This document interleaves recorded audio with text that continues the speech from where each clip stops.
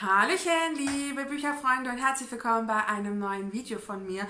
Heute seht ihr meine Stephen King Sammlung und auch die Bücher, die ich aussortieren werde. Ja, wer meinen Kanal schon länger kennt, weiß, dass ich die Stephen King Leidenschaft von meiner Mama übernommen habe und meine Mama auch große Sammlerin von den Büchern von Stephen King war und die Bücher sich in der Regel auch alle ein Stockwerk tiefer in der Wohnung meiner Eltern äh, ja, aufgehalten haben. Jetzt äh, ja, ist es ja so gewesen, dass meine Mama vor zwei Jahren äh, gestorben ist und mein Papa jetzt eben anfängt, sein Wohnzimmer endlich mal wieder zu renovieren und neue Möbel und was weiß ich, wie das manchmal so ist. Und er hat eben gesagt, er würde gern das Bücherregal verkleinern, ob ich die Stephen King Bücher nicht zu mir hochnehmen möchte. Was soll ich da sagen? Natürlich, aber ich bin keine große Sammlerin, wie ihr auch wisst. Ich habe zwar einige Highlight-Bücher in meinem Regal, aber sehr oft ja wirklich nur Lebenshighlights. Ich bin kein Mensch, der Bücher wirklich irgendwie so sammelt, damit ich sie sammle. Ich ähm, hatte auch früher nicht so groß das Ziel, meine Bibliothek oder so zu haben oder alle Bücher, die ich gelesen habe, müssen in einem Raum sein. Mm, das ist bei mir definitiv nicht so. Und so ist jetzt ein kleines Kallax äh, bei mir eingezogen, also ein 3x2 sozusagen. Also ja, und das darf so ein bisschen mit Stephen King gefüllt werden. Ich möchte natürlich die Highlight-Bücher aufbewahren ähm, und vielleicht auch das ein oder andere Buch wo ich denke, das wird mal ein Reread. Ähm, ja, natürlich, insofern man es liest. Vielleicht holt man sich auch irgendwann mal das E-Book. Aber ja, ich habe jetzt einen Stapel Stephen King Bücher um mich herum stehen. Ich werde einige wahrscheinlich tatsächlich, weil sie so alt sind und nicht mehr gut aussehen, ja, wirklich, ja, wahrscheinlich tatsächlich in die Papiertonne geben. Also manches Buch sieht hier wirklich uralt aus und nicht mehr schön. Andere Bücher werde ich natürlich an liebe Freunde weitergeben oder ähm, ja, auch in den Bücherschrank oder vielleicht auch bei Tauschticket. Aber ja, ich äh, werde das jetzt mal so ein bisschen grob sortieren. Was behalte ich, was kommt weg und von denen kommt weg, entscheide ich dann, was, wer, wo, wie irgendwie äh, weiterkommt. Es ist hier jetzt nicht mehr sortiert. Ursprünglich waren die Stephen King Bücher mal alphabetisch sortiert. Das war jetzt auch der erste Karton. Es könnte also durchaus sein, dass es auch so ja, die erste Hälfte des Alphabets ist, das ist aber schwer zu sagen. Aber ich zeige euch jetzt mal alle Bücher, die ich irgendwie hier habe. Ähm, ja, die Subbücher, ja, die könnte ich dann natürlich vielleicht auch nochmal mitholen. Die standen ja immer schon hier, aber da schauen wir einfach mal. Ja, das erste Buch, was mich hier anlächelt, ist, äh, ja, Stark, The Dark Half von Stephen King. Ähm, ja, eine uralt Ausgabe, also auch aus dem Heine Verlag, wirklich der Wahnsinn. Und ähm, ja, das war ja ein Buch, das mir sehr, sehr gut gefallen hat, was ich sehr ähm, eindrücklich fand. Ähm, ja, ich weiß gar nicht, von wann ist dieses Buch.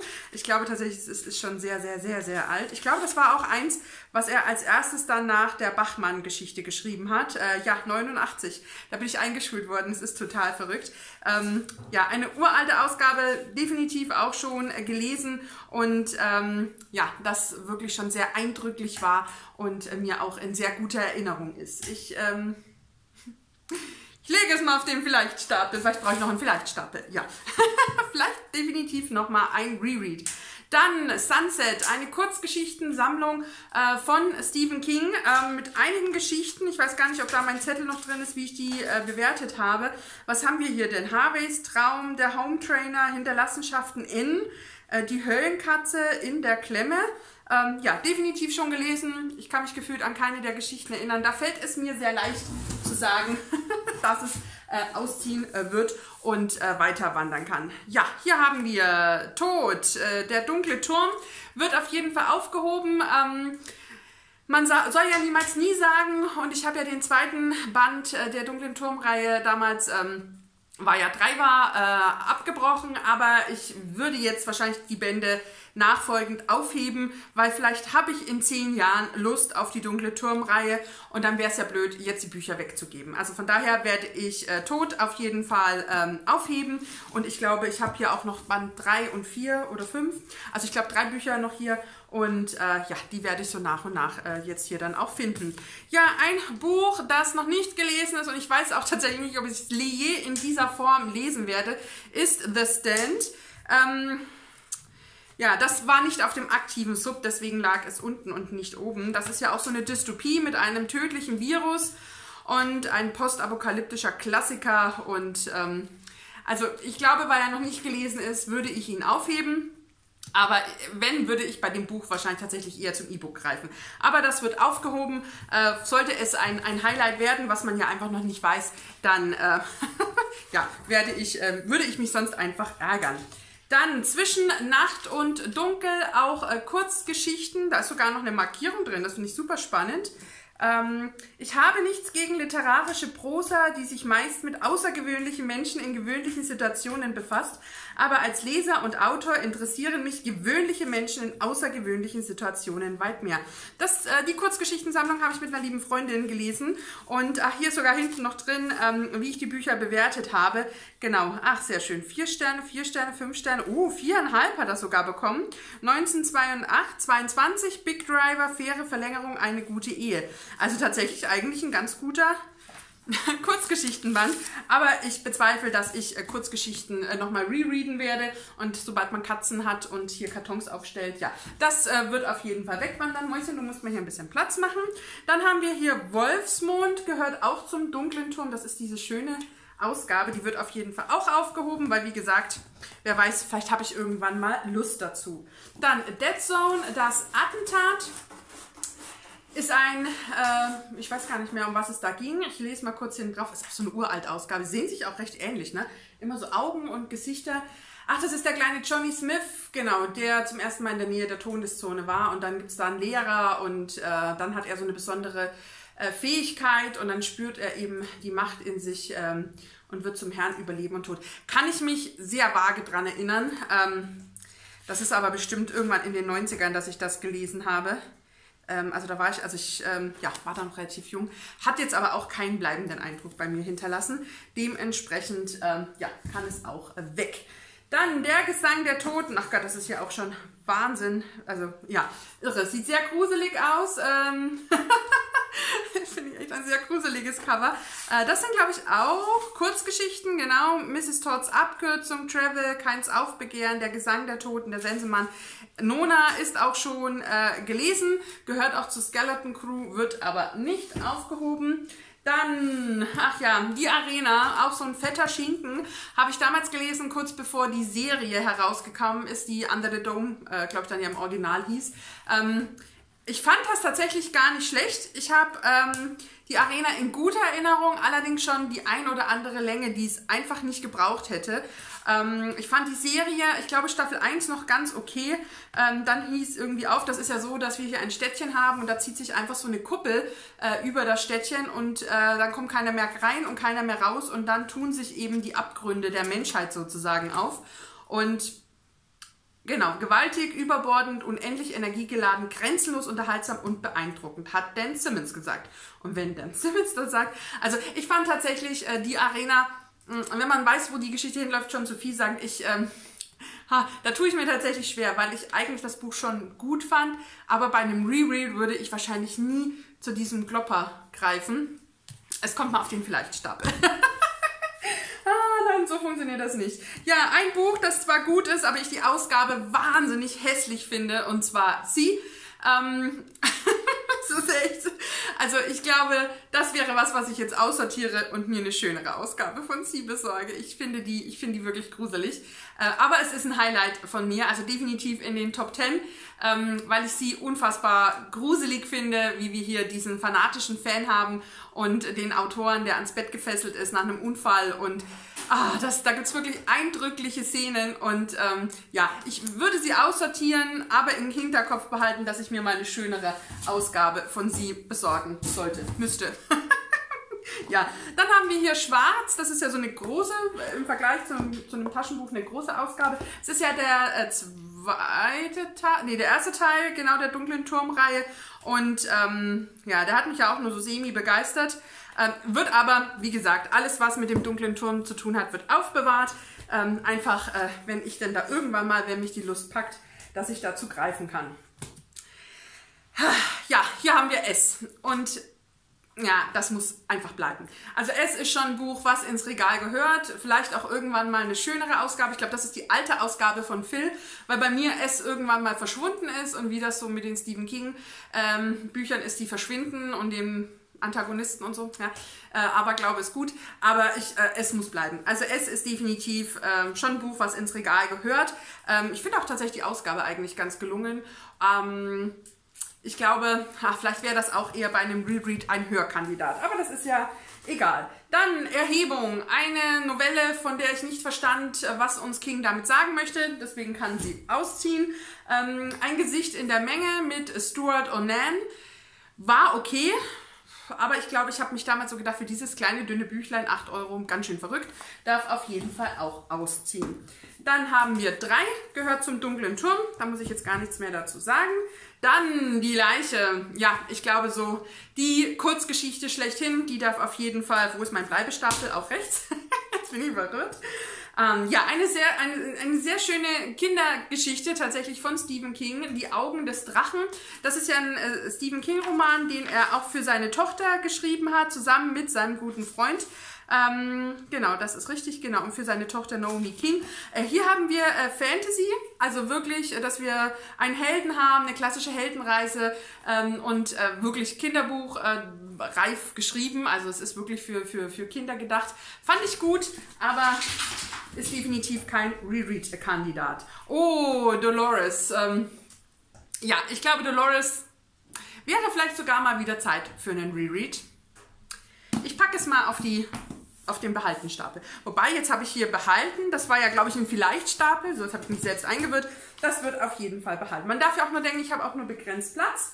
Dann Schlaflos, ähm, genau, das sind wir wieder in Derry, das ist richtig, dem Schauplatz von S. Und das ist, äh, genau, ein, ein, ein, ein älterer Mann, den der Tod seiner Frau um den Schlaf gebracht hat, richtig. Und Umbe Medium, genau, ah, Stephen King in seiner Horrorstimmung.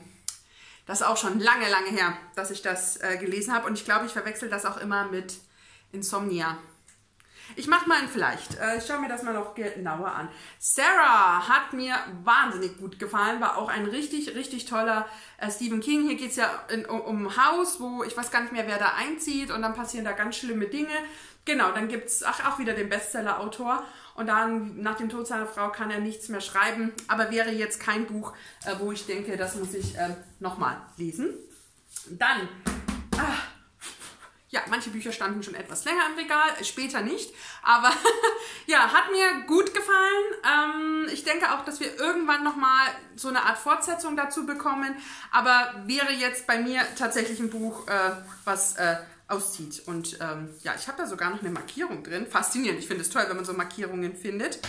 Ähm, Im Blut ertrunkene Gedanken. Sehr interessant. Was habe ich mir dabei gedacht? Und ich kann nur raten, ich glaube, es lag daran, dass ich anders war. Und das ist das S in der Hülle von Kenneth. Ah ja, genau, da war der Bezug. Ähm, ich glaube, ich habe jetzt nichts gespoilert. Äh, das war, glaube ich, der Bezug äh, zu S, den es hier drin gegeben hat. Ja, darf aber auf jeden Fall ausziehen.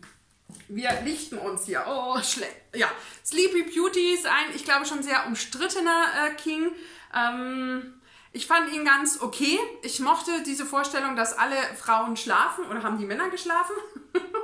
ähm, genau, alle Frauen schlafen und können ähm, nicht geweckt werden. Beziehungsweise, wenn das passiert, erwecken Horrorfantasien. War für mich äh, leider kein Highlight. Ähm, und ich glaube auch nicht, dass das ein Reread-Kandidat in naher Zukunft wäre. Dementsprechend zieht er auch aus. Ich kann doch recht rabiat sein. Ah, jetzt ein Buch, ähm, ja, in einer Weltbildausgabe oder in der Bildausgabe Bestseller-Bibliothek. Faszinierend, was wir alles so haben. ja, es ist Shining. Ähm, und da bin ich ja, also ich, ja, ich bin da ja, ich glaube, einer der wenigen, der das nur so, hm, okay fand. Äh, ich die Verfilmung auch so, hm, fand. Ähm, also ich, es gibt ja zwei Verfilmungen, ich die Kubrick-Verfilmung tatsächlich noch ein bisschen besser finde. Ähm, ja, ich meine, ganz klassisch, glaube ich, hat das jeder vor Augen, dieses Hotel, wo die Familie oder der Familienvater durchdreht und äh, das dann zum Albtraum wird und ähm, ja, ich weiß gar nicht, warum haben wir da eigentlich nur die Bildausgabe? Wir hatten da auch mal eine echte Stephen King-Ausgabe. Vielleicht haben wir die tatsächlich damals ausgetauscht. Ähm, ja, aber ist äh, kein Buch, was mir irgendwas bedeutet und dementsprechend kann es ausziehen. Dann blutige Nachrichten waren ja drei oder vier Novellen, ist auch noch gar nicht so lange her. Ähm, genau, Mr. Harringans Telefon wurde ja auch nicht sehr gut verfilmt. Chucks Leben, blutige Nachrichten und Ratte. Und ich habe hier auch wieder eine kleine Verm ähm, Markierung drin. Er enthält eine fundamentale Wahrheit, die du schon in deinem jetzigen Alter verstehen dürftest. Filme sind vergänglich, während Bücher, die guten, ewig sind oder wenigstens beinahe. Du hast mir viele gute Bücher vorgelesen, aber andere warten darauf, geschrieben zu werden. Mehr will ich gar nicht sagen. Ach, schön. Ach ja, manchmal hat Stephen King schon so seine Ideen. Ähm, war aber jetzt leider auch keine Kurzgeschichte drin, die mich irgendwie in den Bann gezogen hätte. Und das letzte Buch ist auch eins seiner neueren Werke und zwar Billy Summers, äh, was ich ja im letzten, ist das letztes Jahr erschienen? Ich glaube schon, ne? Im letzten Jahr äh, gelesen habe. Äh, sogar 21, wirklich? War das 21? War das. Ja, könnte sein. Sommer 21, jetzt haben wir 23. Ja, ähm, ja, hier haben wir ja äh, einen Roman über Wahrheit und Fiktion, über Krieg und Frieden und äh, ja, wir haben hier Billy, der Kriegsveteran ist und eben einen Coup plant und äh, als Auftragskiller und ja, fand ich ganz okay, kann mich aber auch an nicht mehr viel erinnern. Das ist manchmal merkwürdig. Ja, wird aber dementsprechend, weil die Erinnerung oh, so vage ist, in den Ausmistkarton kommen. Und jetzt äh, ziehe ich mir mal den nächsten Karton her und äh, ja, dann machen wir weiter. So, die anderen Bücher geholt. Ich habe letztens ja ein Video gedreht mit den drei besten Kings und die landen natürlich auf jeden Fall im Regal. Und zwar ist das natürlich der Anschlag, es ist The Green Mile und auf jeden Fall auch Friedhof der Kuscheltiere. Äh, ich glaube, zu den Büchern muss ich nicht mehr viel sagen, aber die äh, bleiben auf jeden Fall. Das sind meine heißgeliebten Top 3 und die werden nicht ausziehen. Das waren jetzt die Vielleicht-Bücher. Ähm, dann kommen wir mal kurz zu den offiziellen Subbüchern. Und zwar zum einen das Monstrum, Tommy Knockers. Ich habe zwar schon mal gedacht, ich habe das gelesen, aber mir hat das dann gar nicht mehr so viel gesagt. Hier geht es ja um ein untrügliches Gespür für die Abgründe der menschlichen Seele. Sieht der Meister des Grauens seine Schreckensvisionen im gewöhnlichen Alltag an. Heaven im Bundesstaat Maine ist eine verschlafene Kleinstadt, bis zu dem Tag, als Bobby Anderson im Wald ein seltsames Ding entdeckt. Liegt auf dem Sub, bleibt dementsprechend da. Auch auf dem Sub ist der Sturm des Jahrhunderts. Und das ist ja, ist das nicht das mit dem Drehbuch? Genau, das wie ein Drehbuch geschrieben ist. Da bin ich sehr gespannt. Dann auch der Talisman mit Peter Straub ist auf dem Sub. Ist das der zweite Teil oder der erste Teil? Gehört das nicht irgendwie zu irgendwas dazu? Ich bin mir schon gar nicht mehr sicher. Horror und Fantasy durchdringen sich in einer Geschichte von faszinierten Bilderreichtum und atemberaubender Spannung. Ja, bin ich auch gespannt. Dann auch Nachtschicht. Ähm, hatten wir hier nicht mehr. Genau, hier sind auch einige Kurzgeschichten.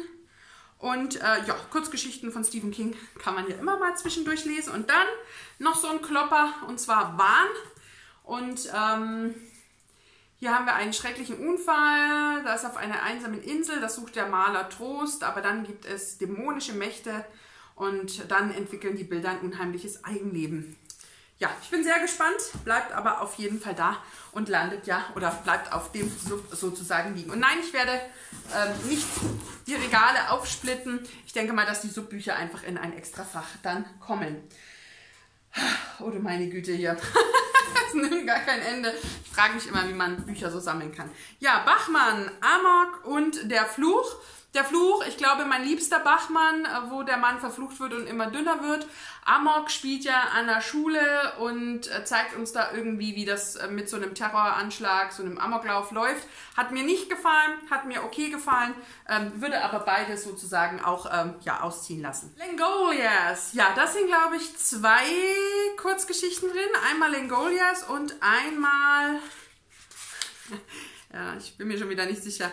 Und einmal, es sind glaube ich doch zwei Bücher drin. Ein Schriftsteller bekommt Besuch. Langolias ist ja das mit äh, dem Flugzeug, ne? Richtig, zwei Reisen in einen Kosmos rätselhafter Albträume, richtig. Und dann ist der geheime Garten das geheime Fenster. Secret Window, Secret Garten ist genau umgekehrt. Was ja auch großartig verfilmt ist. Das hebe ich auf jeden Fall auf. Wo habe ich jetzt meinen Ich hebe auf Stapel? Hier wahrscheinlich. Hm.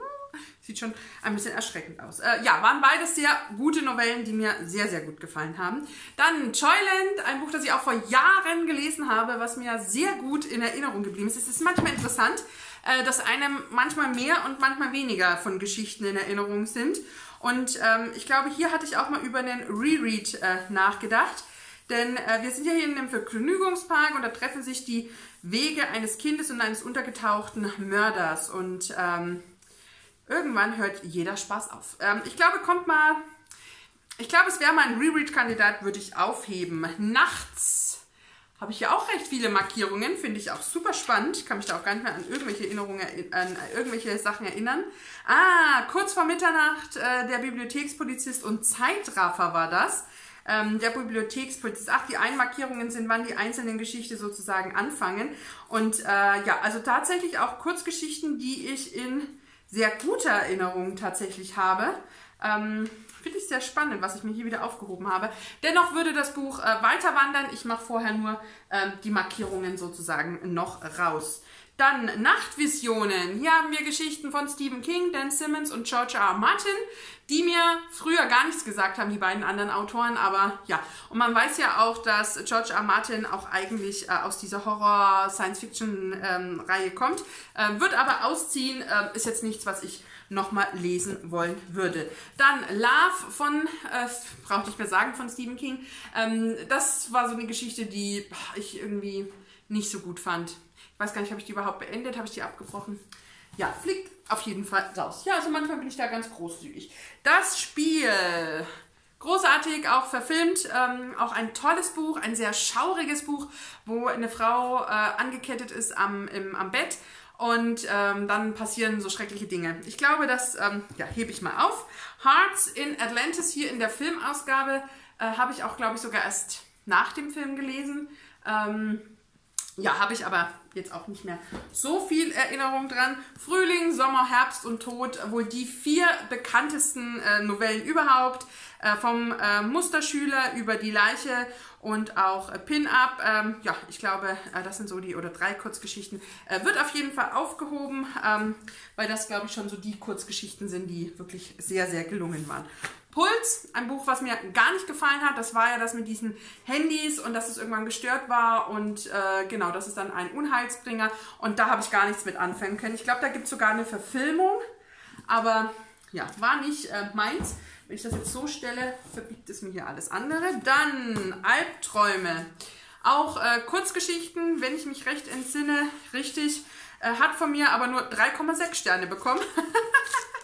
Dementsprechend äh, ja, nehmen wir hier ähm, die Bewertung der Bücher, die Geschichten raus. Was war denn vielleicht so eine Highlight-Geschichte? Jetzt habe ich das natürlich rausgezogen. Kopf runter war scheinbar, ach nein, Kopf runter nicht. Äh, Umneys letzter Fall, das Haus in der Maple Street, Entschuldigung, richtig verbunden. Ja, ich, ja, Kurzgeschichten gehen bei mir irgendwie so da rein, da raus, da ist nicht immer sehr viel.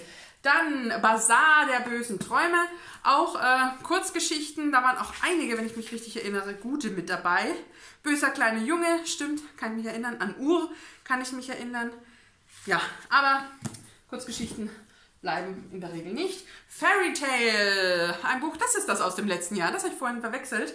Buch, wo sich ja auch so die Geister scheiden. Ähm, ich fand den Teil, bevor es ins Märchen geht, sozusagen richtig gut, auch wenn ich mit dem Protagonisten, dessen Namen ich nicht mehr weiß, ähm, Ah, ich war der Junge, der Fessel ums Handgelenk hatte. Ah, na, na, na, na. Ähm, der war mir so neunmal gescheit. Ah, ja. Aber werde ich wahrscheinlich auch nicht nochmal lesen.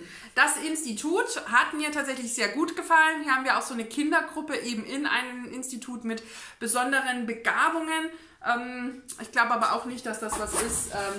Was ein Reread wäre, beziehungsweise gibt es halt auch die neuen Bücher von ihm einfach als E-Book. Und ich glaube, wenn ich sowas rereade, was solche Wälzer sind, dann würde ich wahrscheinlich ähm, ja, zum äh, E-Book greifen. Uh, Cujo. Ah.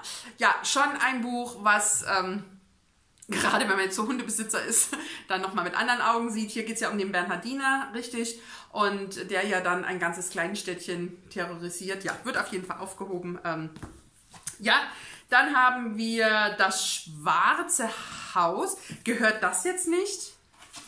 Ich bin irgendwie irritiert. Gehört das nicht trotzdem irgendwie... Da ist eine Postkarte noch drin. Ah, sehr schön. okay. ähm, das dachte ich gehört auch irgendwie zu... Ist das der zweite Teil? Zu...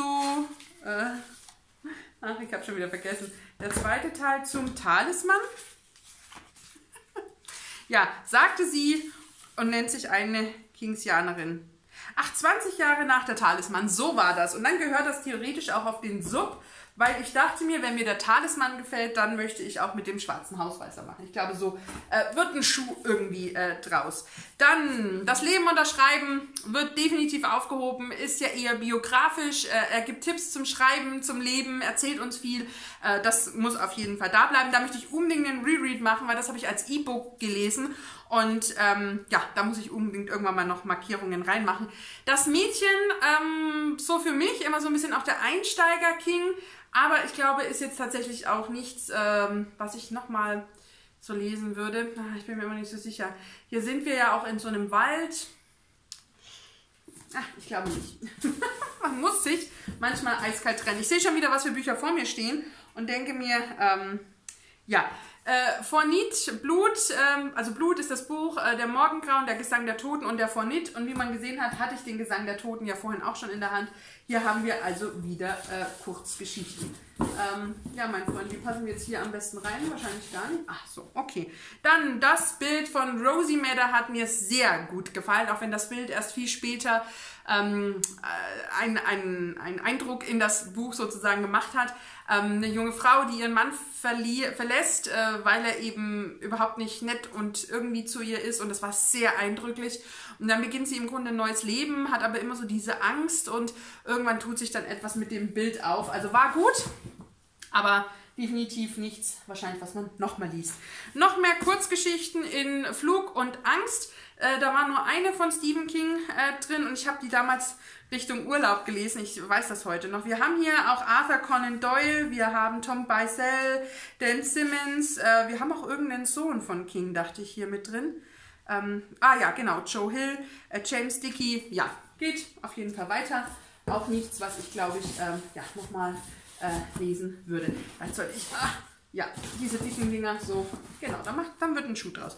Feuerkind wird aufgehoben, definitiv auch ein King, den ich auch, glaube schon zwei oder dreimal gelesen habe. Äh, wir haben hier eben ja einen Vater mit seiner Tochter, die eben diese Gabe hat, ähm, Feuer zu entzünden. Und ich ähm, habe da auch immer wieder regelmäßig Gänsehaut. Das wird auf jeden Fall aufgehoben. Im Kabinett des äh, Todes, ah ja, da fallen leider schon, das war eine recht alte Ausgabe, die habe ich, glaube ich, auch... Ähm, äh, schon ein bisschen zerdeppert sozusagen gebraucht gekauft. Auch Kurzgeschichten habe ich, soweit ich mich erinnere, mit Becky äh, gelesen. Und da war auch eine Geschichte dabei, wenn ich mich recht entsinne. Ich glaube, da haben Becky und ich sogar die Ausgaben getauscht. Ähm, und irgendwie war da eine Geschichte, glaube ich, tatsächlich drin äh, in Richtung äh, der dunkle Turm. Und deswegen haben wir das dann sogar gelesen. Aber ja, aber werde ich nicht noch einmal lesen. Äh, wir neigen uns langsam dem Ende. Und zwar Gwens Wunschkasten, nein, Gwendys Wunschkasten, der Auftakt der Trilogie, glaube ich, mittlerweile. Fand ich okay, war halt auch sehr dünn und es hat mich auch bisher nie an den zweiten Teil oder an den dritten gezogen. Dementsprechend, ähm, ja, geht das auch aus. Und dann liegen jetzt, glaube ich, tatsächlich noch zwei Bücher hin. Und zwar Geschichten aus der Schattenwelt äh, von Stephen King, Arthur Conan Doyle und Michael McDowell. Wenn ich jetzt ehrlich bin, ich glaube, das Buch sehe ich gefühlt so zum ersten Mal. Da gibt es sogar Bilder. Ah, wahrscheinlich von den Verfilmungen. das sieht ja gruselig aus. Ich kann mich da, ich kann mich da gar nicht mehr dran erinnern. Ich kann, komm, wir kommen auf dieses Buch auch überhaupt nicht klar. Warum habe ich hier etwas entdeckt? Geschichten aus der Schattenwelt? Aus Anfang der 90er. Arthur Conan Doyle. Das war mir überhaupt noch nie aufgefallen. Und wer ist, ist Michael McDowell? Ich glaube, da muss ich mal kurz drüber nachdenken. Vielleicht ähm, schaue ich in diese Kurzgeschichten einfach mal rein. Und dann auf jeden Fall auch ein Buch, was bleibt, was ich kurz mal vom Staub befreien muss. Und zwar in einer kleinen Stadt. Needful Things. Ähm, fand ich großartig. Also wie da ich weiß gar nicht, ist, wir sind hier ja wieder in Castle Rock, dann kommt der mysteriöse Leland Gaunt und der eröffnet einen Namen und äh, dann bekommt man da eigentlich alles, was man sich wünscht und muss dafür nur was tun. Und er ist der Handwerker des Schreckens, also äh, apokalyptische Albträume. Ja, bin ich definitiv und äh, ja, das bleibt auf jeden Fall hier. Und jetzt liegen hier so viele Bücher und ich denke mir, die sollen in dieses kleine Kallax reinpassen. Ja, es ist manchmal, wie es ist, ne? ja, das war meine Stephen King-Sammlung jetzt so in, in, in, in, ja, in schneller Art sozusagen. Äh, ich habe auch ein paar Kings nur als E-Book. Äh, ich glaube tatsächlich so die ein oder andere Kurzgeschichtensammlung habe ich mir manchmal auch nur als E-Book geholt. Aber das waren jetzt alle haptischen Bücher und ich werde mich jetzt mal um die Vielleicht-Bücher kümmern und ähm, vielleicht gibt es dann irgendwie nochmal eine Einblendung von dem Kallax, wenn es denn dann voller Bücher ist und ähm, ja, ist manchmal gar nicht so einfach, sich so zu trennen, aber äh, es ist an Büchern, äh, hat man eher die, die, ja, dieses Emotionale an den Gegebenheiten als und manchmal an Geschichten natürlich, aber oftmals so, was man mit einer Geschichte verbindet. Und ähm, ha, ja, irgendwie gerade wenn man dann so Highlights, nicht Highlights aussortiert, das ist äh, eigentlich gar kein so schlechtes Gefühl. Ja, in diesem Sinne, ich bin sehr gespannt, welche Stephen Kings ihr so kennt. Äh, schreibt das gerne mal in die Kommentare. Auch ob ihr gedacht hättet, ich hätte mehr oder weniger Bücher, könnt ihr auch mal gerne ähm, ja, so äh, unten reinschreiben. Lasst uns da gerne ein bisschen in den Austausch gehen. Auch welches Buch ich jetzt aussortiert habe, wo ihr sagen würdet, absolutes Highlight oder ein Highlight von mir, wo ihr sagt, ach, das hättest du mit aussortieren können. Wobei davon kann man mich weniger überzeugen. Ähm, ja, schreibt das super gerne in die Kommentare und ich danke euch jetzt fürs Zusehen. Ich hoffe, ihr hattet ein bisschen Spaß. Wünsche euch noch einen schönen Tag, einen schönen Abend und bis zum nächsten Video. Macht's gut. Tschüss, eure Steffi.